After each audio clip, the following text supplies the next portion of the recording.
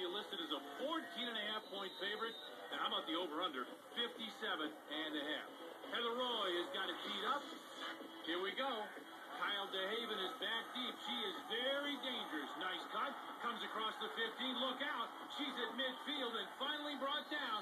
Kyle DeHaven starts this game off with a highlight reel. And Tommy, when you average, know, that's the kickoff, but when you average every time we see her about a new area code per carry, uh, Baltimore make this your identity tonight. Uh, let's take a look at our uh, offensive lineups. First of all, for Baltimore, the big star for me is Kyle DeHaven. Dual rushing, receiving threat, leads the league yards per carry over 11 with two touchdowns. She can catch the football. And Ashley Helmstetter, a free agent pickup, proven a very valuable situational back this year. The starter Casey White injured. She has been terrific. There's Stacy Moon has been outstanding at quarterback, reads the defense very well, and manages this team. Moon, receivers to the left side, fades back, got a little pressure, steps up, and the pass to Helmstetter is incomplete. It'll be second down.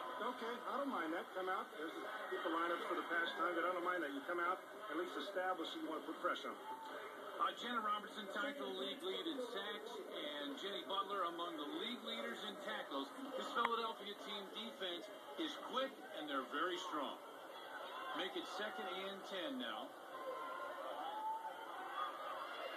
Handoff. That Spencer comes around the right side. She's going to get seven, eight, maybe nine yards on that carry. Tommy, I love this, and here's why.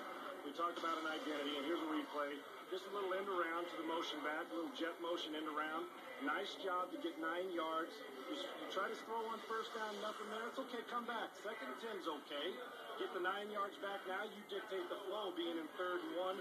Keep an eye on Helmstetter, Wilson, and Latifah Williams up front. They moved the pile last time we saw, and Holly uh, Wilson dominated at center. DeHaven there behind Moon, and DeHaven's going to get it. Comes around the left side.